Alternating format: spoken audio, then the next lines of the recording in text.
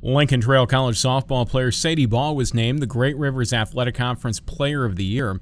Lady Statesmen coach Gary Rogers says the honor was well deserved. She come in here as, uh, as, a, as a true freshman, of course, and uh, just did some excellent things for us. And, and you could tell from the fall that she was going to be uh, one of those players that they're going to have to look at. Baugh led the Lady Statesmen with a 474 average, 11 home runs, 27 doubles, and 50 RBI.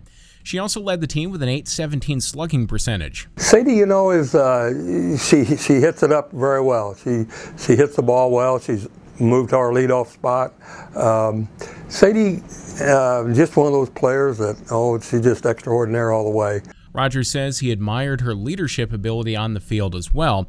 Baugh also earned all conference and all region honors. For LTTV, I'm Chris Ford.